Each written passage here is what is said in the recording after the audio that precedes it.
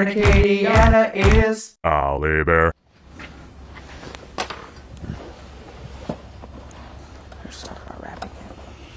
Go ahead and just say hey. Hey, we are back. We're going to need a hot glue gun, I think. Yeah. Guys, what, what, where kind of where are we on this?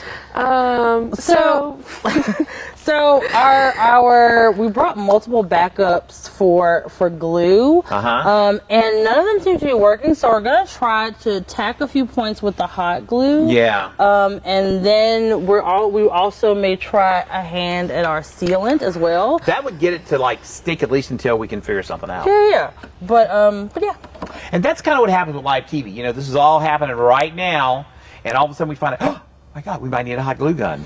And good thing we keep one uh, in the bin. It's always good to keep like hot You glue. should never, you should never not have a hot glue gun with an arm You reach. do anything with a hot glue gun. Um, also, too, uh, uh, uh, another thing we wanted to point out is that we get lamps in from all over. Mm-hmm. Uh, our trusty lamp here came from um, one of our local hotels. So anytime that you are um, that you are upcycling or you're getting new materials, um, you can always donate it to the restore. I think it's really fancy too because you can charge things on either side of. Okay, and that's what I love about hotel lamps because, and I got a bunch of them, I got them all here, is that you have the receptacle on the lamp. So you're not, you know, once you plug this thing in, you can charge stuff, you can plug other stuff in there, and I, I, I just love that about hotel mm-hmm. lamps, you know? Yeah, they're also easy to like refinish and repaint. Yes. So if you're if you don't mind like taking a little sander to it, because this is like a brushed. This is more like a brushed metal. Yeah. This is very slick. If you want to sand it down to rough out those edges, prime it a little bit, mm-hmm. and then get you some paint. We like chalk paint. I love chalk know, paint because you know what? You don't so have to prime it. You know, you don't. It, It, does drives super things. fast and it sticks to everything. We painted glass here one day, Yes. remember?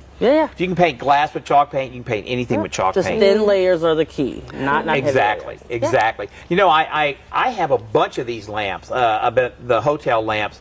I have them all over because, boom, you can just charge your phone and things like that. So, you know what? We're going to go find a hot glue gun.